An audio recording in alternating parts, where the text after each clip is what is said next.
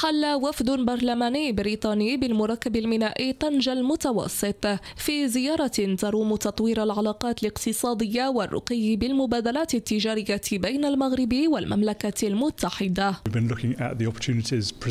تباحثنا حول فرص الاستثمار التي يتيحها المغرب لبريطانيا ونحن جد معجبون بالتقدم الذي أحرزه المغرب في عدد من المجالات والتطور المهم الذي شهده طنجة المتوسط أكبر ميناء لنقل الحاويات بالبحر الأبيض المتوسط وبإفريقيا.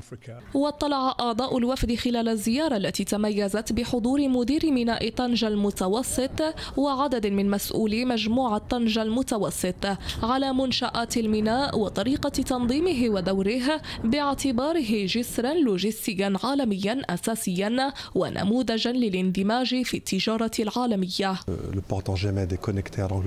طنجة المتوسط مرتبط بالمملكة المتحدة عبر ست موانئ وأكثر من عشرة خطوط بحرية أسبوعية. كما أن هذه الزيارة تكتسي أهمية خاصة لكونها تشكل بالنسبة لنا مناسبة للتأكيد على استمرار المبادلات والتدفق التجاري بين البلدين وبحث سبل تطويرهما أكثر فأكثر. وتشكل زيارة الوفد الزيارة الأولى لوفد برلماني بريطاني ذات طابع اقتصادي وتجاري إلى المغرب. منذ التوقيع على اتفاق الشراكة بين المغرب والمملكة المتحدة.